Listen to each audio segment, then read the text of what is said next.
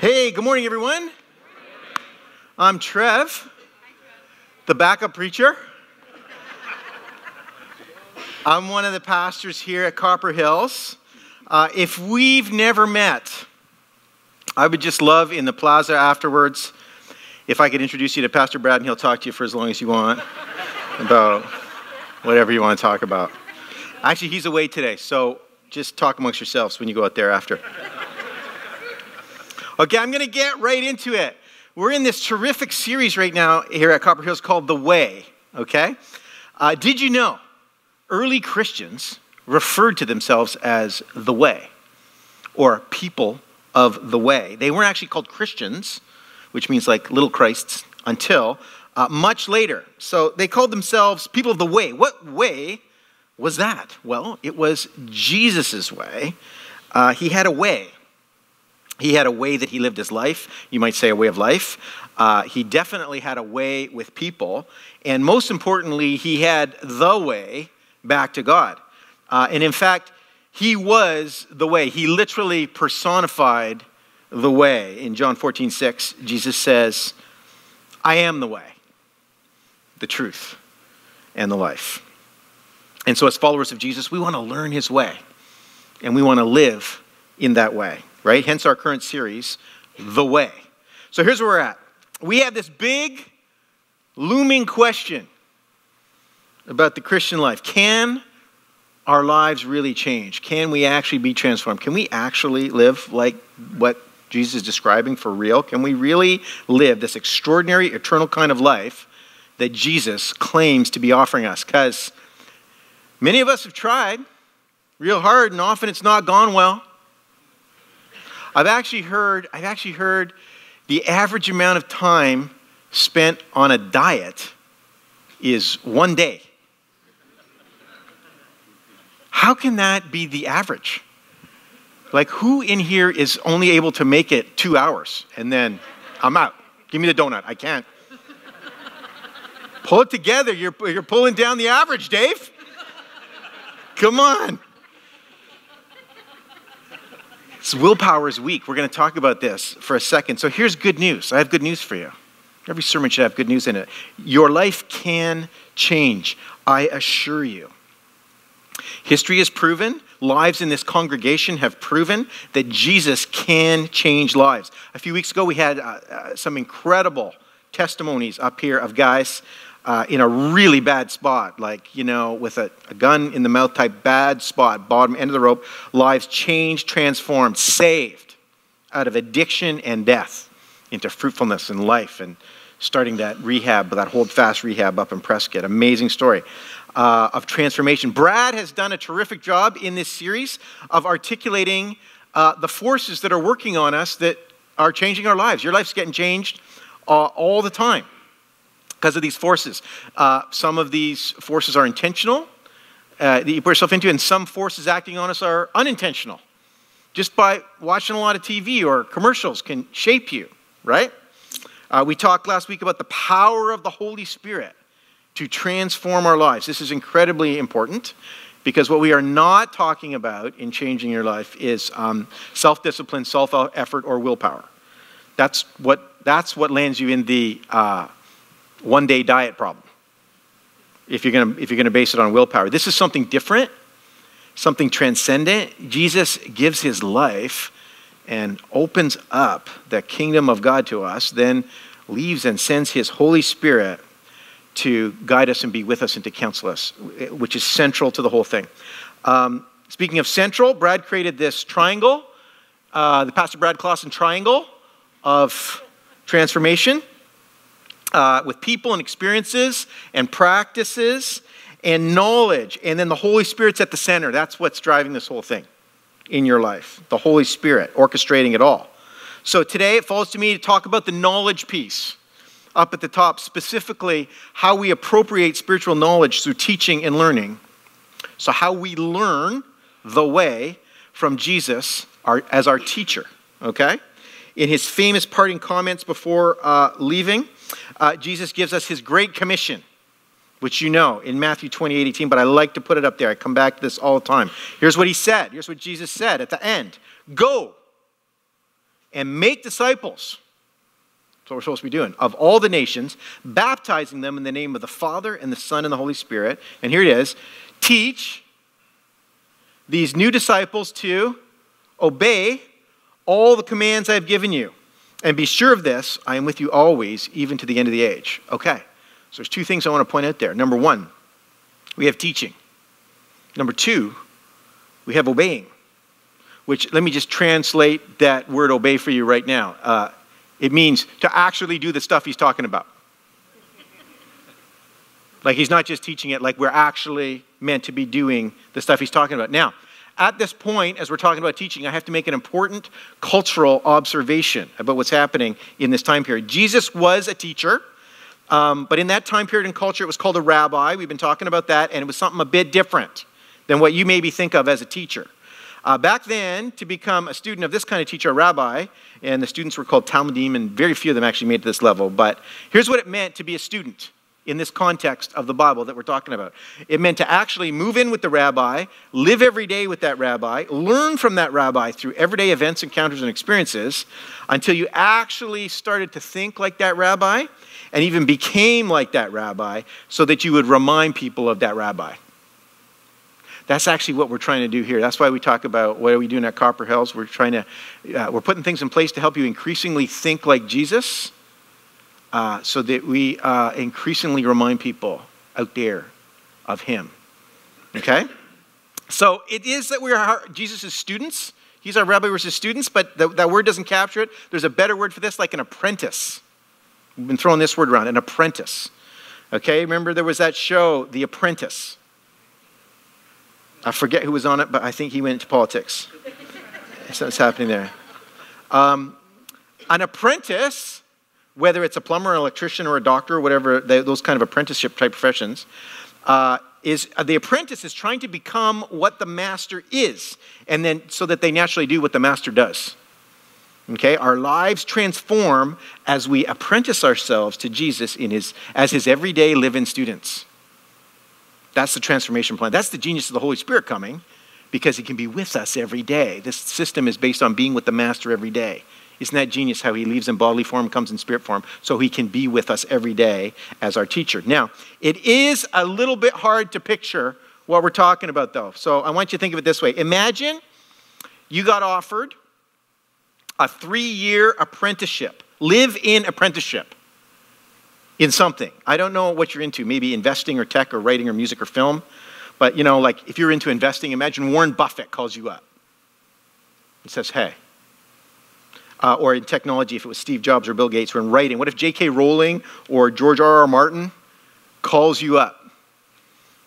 And, or, or in music, Paul McCartney, Taylor Swift, or Drake sends you a letter.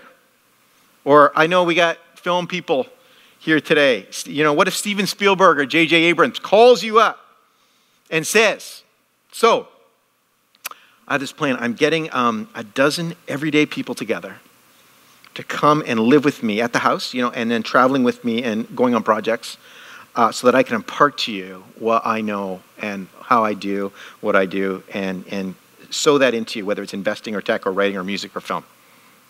Can you imagine? Would you do it? I would. I mean, I don't even listen to rap music, but if Drake called me up, I'd be like, yeah, let me just talk to my wife quickly just to see if, what, if I'm available um, for that. So, now imagine Jesus calling you up. Hey, I'm getting a dozen ordinary people together. Uh, I've been thinking about you. I think, you know, I prayed all night about this, and I, would love for you to be one of them. We just come. We got about three years. This is the plan. This, this invitation that he's laying out is an invitation to become like him and, and, and be what he is and do what he does. In Luke 6:40, Jesus says, "Students are not greater than their teacher, but the student who is fully trained will become like the teacher." We are, we are students being fully trained right now. Did you know? You're in training right now and becoming like Jesus. That's huge. Think about this for a second. You know, um, everybody here probably been in school for of some kind of school for something, right? Public school, high school, college, I don't know. Kindergarten? Best three years of my life, kindergarten.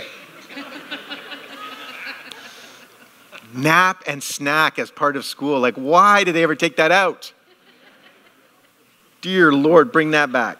Okay, let me ask you this. In any class that you ever took, was it ever the point that you would take on the characteristics of the teacher and actually, actually become like him or her as a person? No. Probably not. You only see true apprenticeship in a few places in our culture, like in the trades, right? Master carpenter, apprentice carpenter, master electrician, apprentice uh, uh, electrician, or in martial arts.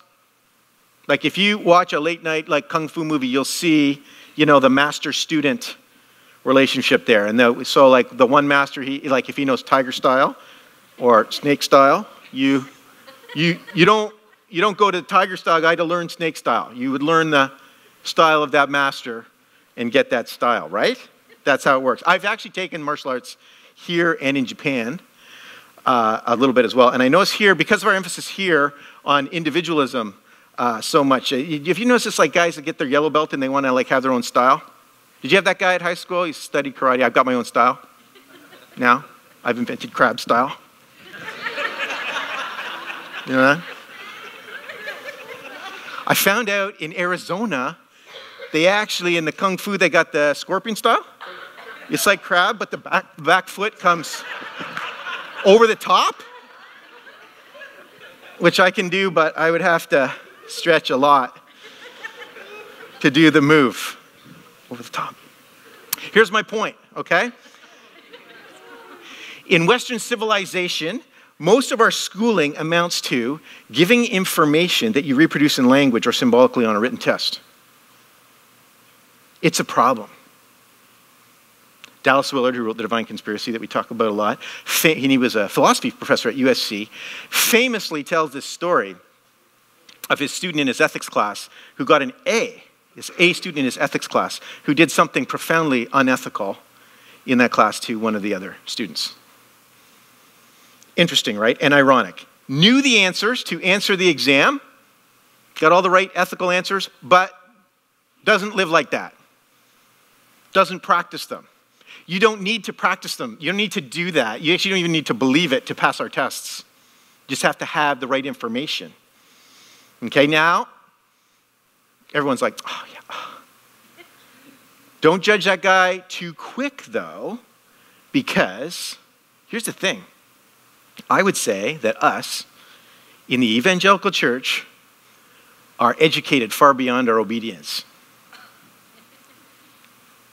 What do you think? I actually think we know more, way more than we actually do. Right? Uh, you'll hear people concerned about so and so's into prosperity gospel, or I think that's guy's teaching salvation by works, or something. Uh, you almost never hear deep concerns that uh, I don't think we're actually loving our enemies. I've actually never heard that. I've heard lots of people worried about prosperity gospel here and there. I've never heard someone say, I don't, I don't know if we're caring for the poor enough. I don't know if we're, I don't know if we're loving our enemies. I don't know if we're actually doing that. Interesting. So, what does it mean to truly know something? We're talking about knowledge here today on that triangle. What does it mean to know something? When you can reproduce it on paper in a test, or when you've got that working in your life? And you know there's a Christian, if you've been in church, you know there's a Christian version of that. When you know the Sunday school answers, to stuff, but you don't actually live like that.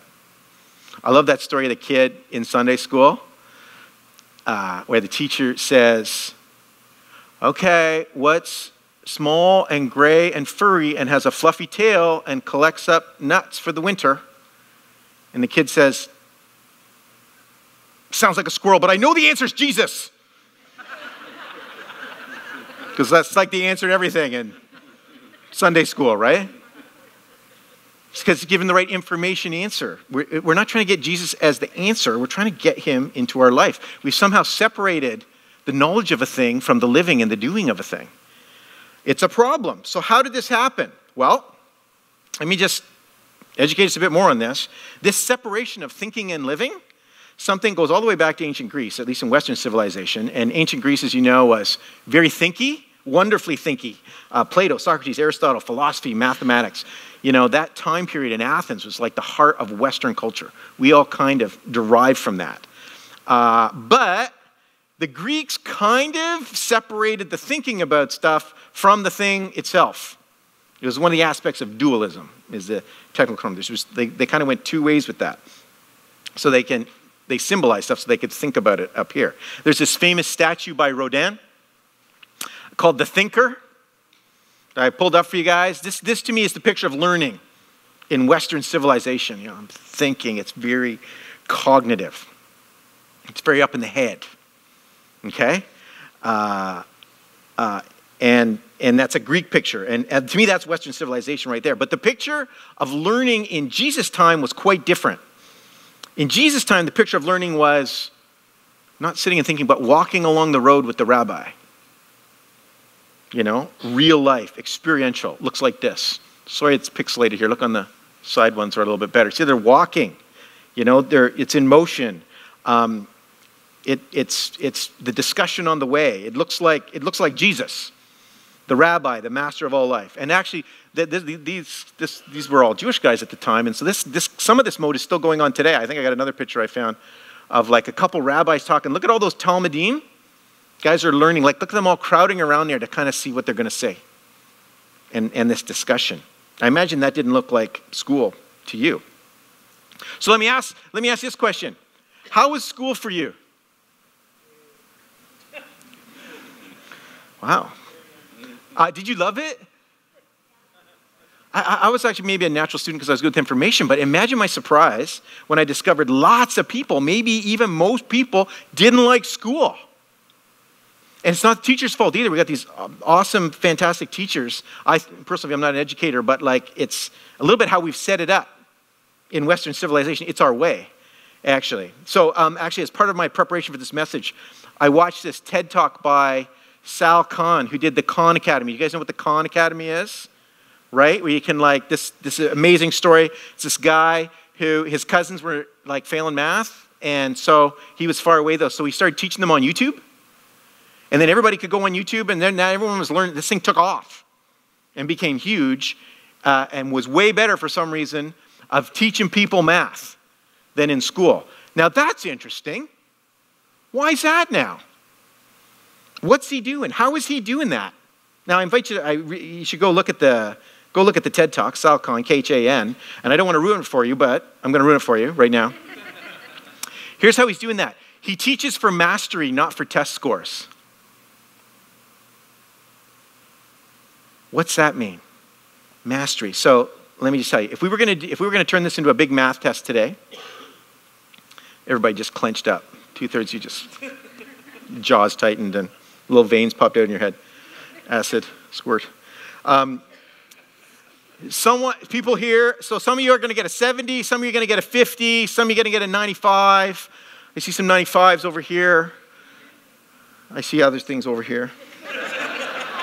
Um, but here's what would happen. As long as everybody passed, we would just move on to the next unit. Here's the problem. If you got a 70, you'd have this 30% gap in your knowledge. We move on to the next unit, you get a 70 again, you got another 30% gap. Now you got gaps on gaps.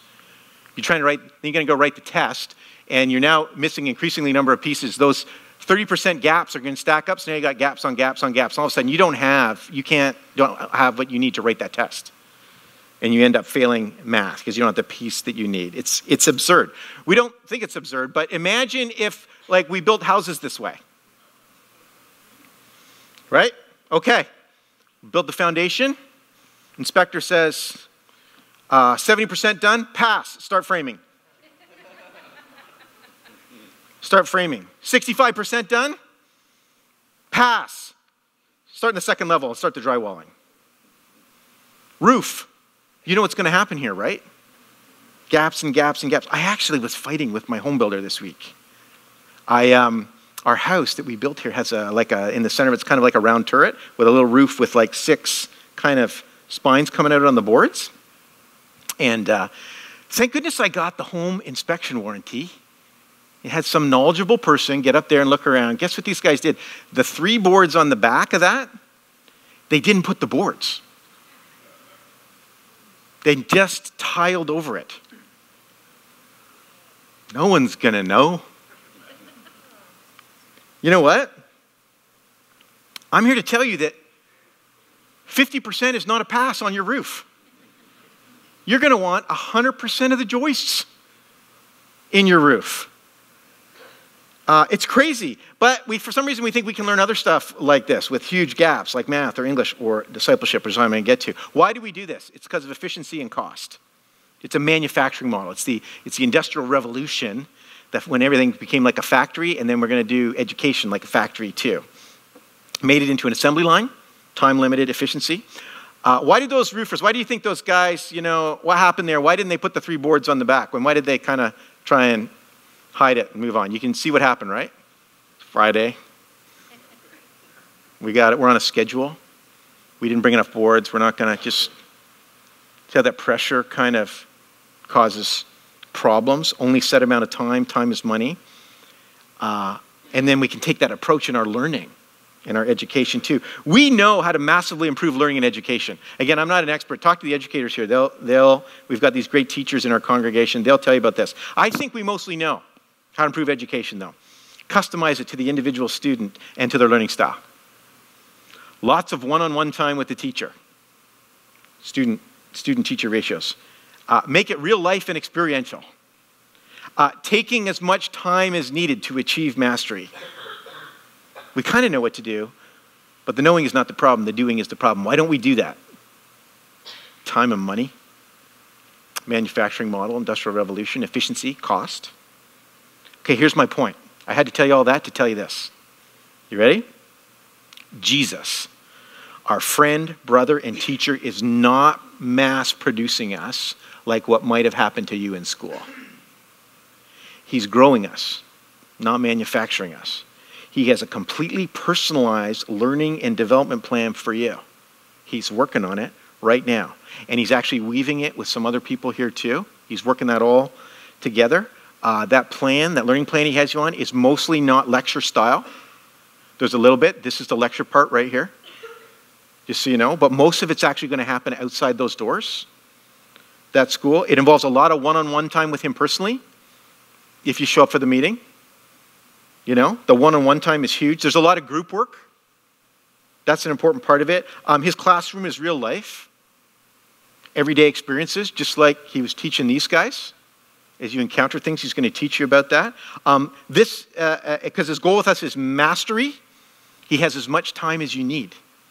He'll spend as much time with you as you need to learn that thing that you need to get an internal kind of life working for real. This is not, what we're doing here is not about passing a test. Getting into heaven is not passing a test and I've got the right answer. You don't get to the pearly gates and go, it sounds like a squirrel, but I know the answer is Jesus. In. It's not about that. This is about learning a new spirit powered way of life that starts right now. It's Jesus' way. Like, can we start living Jesus' way for real? Well, here's the question How can we teach and learn? I'm teaching up here right now. How can we teach and learn so that knowing something means actually incorporating it into our lives and not just transferring information? So we can actually do it and our lives are transformed as a result. Okay, let me tell you what happened to me. I've actually done a lot of school, uh, you know, academic type school that has a lot of that information transfer stuff in it. But I had a kind of an interesting, powerful learning experience right here at Copper Hills uh, less than a year ago, like this year. I had a very interesting experience. Uh, and it really made me think, because I'm a pastor of spiritual formation, so I'm thinking about all the time, like, what actually forms people? What actually shapes them? I'm, I'm sometimes amazed at people's ability to um, like have near perfect church attendance, but had that not like really affect their life that much. So I'm often looking for other environments. What actually changes you and shapes you, right? So here's what happened. When we moved from Canada to the U.S., uh, I actually, you know, I was on uh, Canadian Wall Street, so I moved from marketplace to ministry, and um, so my income really changed down, and uh, which is normal and good, and this is part of the invitation. Not as low as Brad and Elfie's when they first came to uh, plant this church. In fact, I think they made them pay to come here or something. Um, but anyway, here was an opportunity. Like our life really changed. Like we're in a situation now. Um, we had to redo our whole budget, new costs, everything was new, new air conditioning costs, and also uh, air conditioning costs, and then there was some air conditioning costs. this was like, this is not the big cost in Canada, just so you know. Okay? So, anyway, as it turns out, I'm in charge of courses here at Copper Hills, and we offer a bunch of courses. And we have this course that they offer here called Financial Peace University. Have you heard of this guy? I'm new to America, but have you heard of this guy, Dave Ramsey? He's an interesting guy.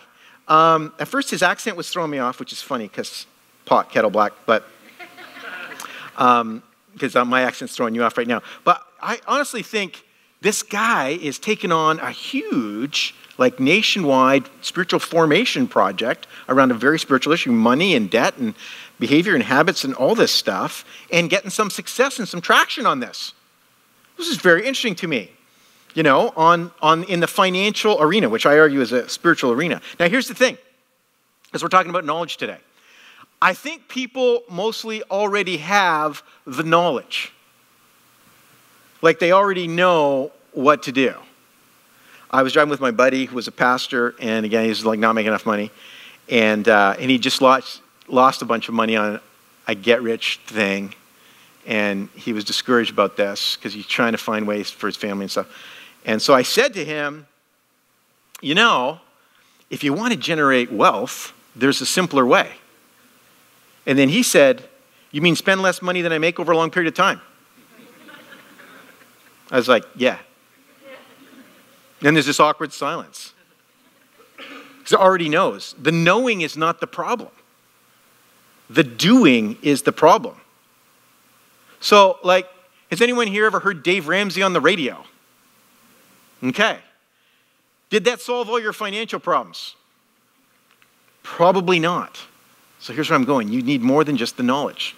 Here's what struck me about the financial peace that we offer here there is a bunch of different pieces that they all work together to achieve the desired effect.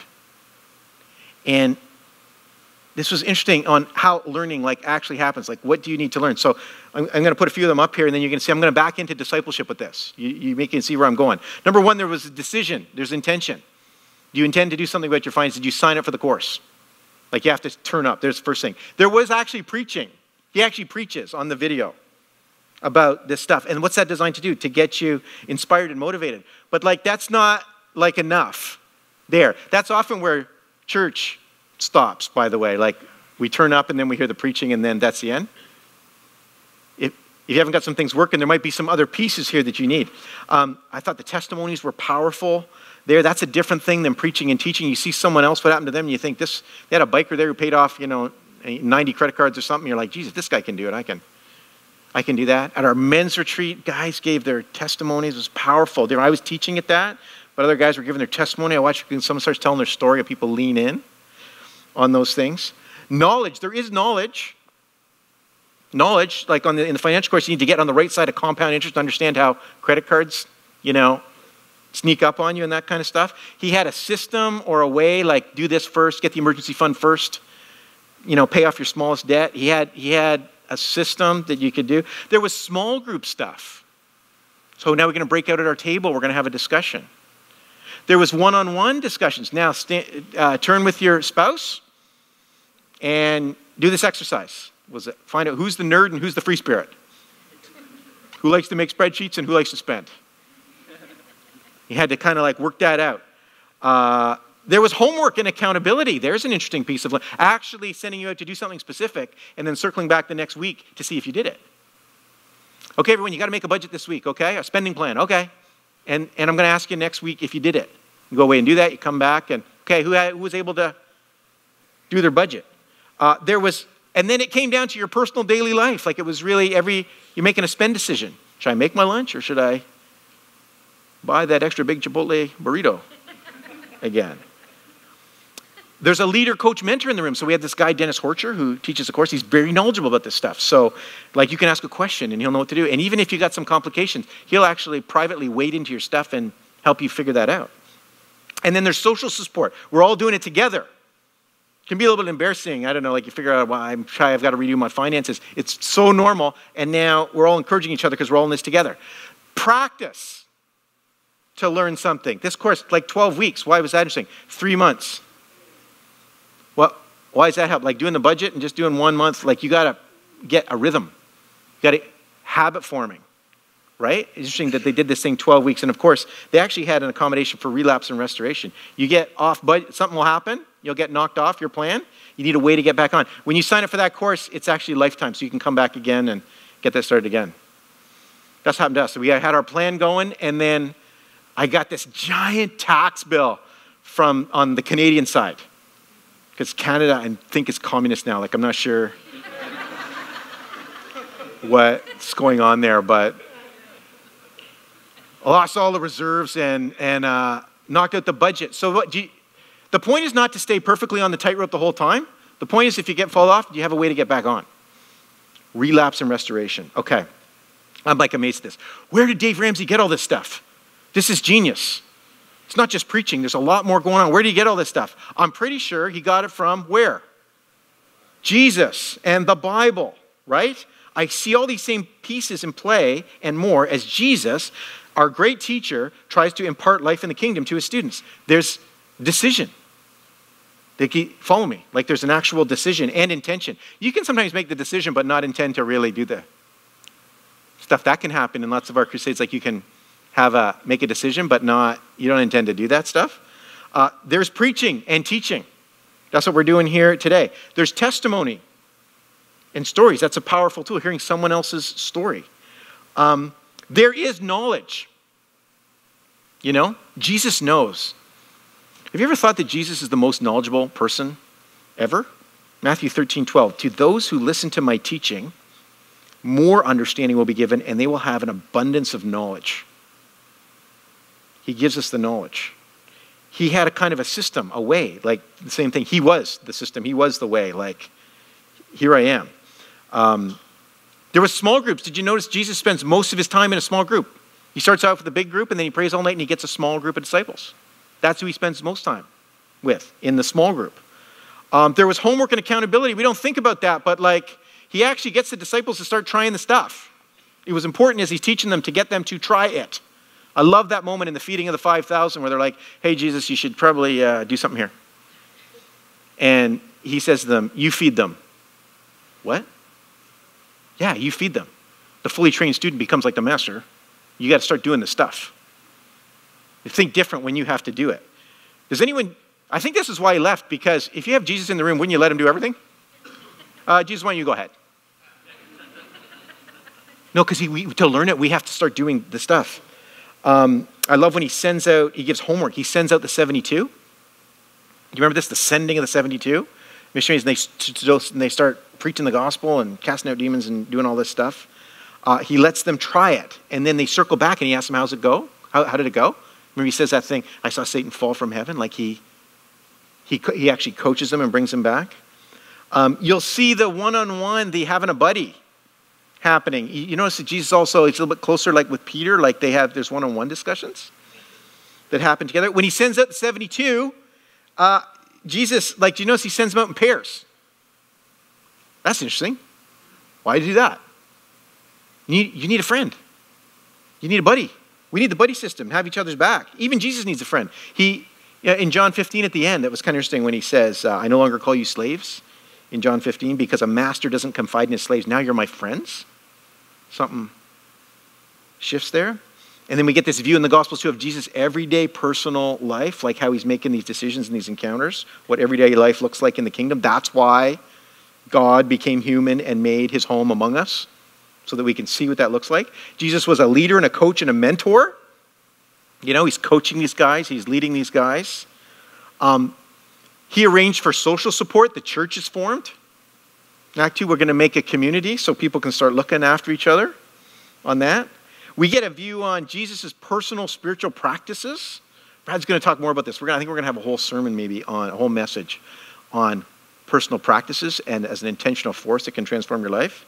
But we see this a lot, like in Mark 1:35. Before daybreak, the next morning, Jesus got up and went out to an isolated place to pray. Solitude, silence, prayer. Now, I don't know if he had to do that to stay in communion with his Father, but I think we got record of him praying like 25 times in the Gospels. I got a feeling like he's trying to demonstrate something for us. as a way to live. That's part of it.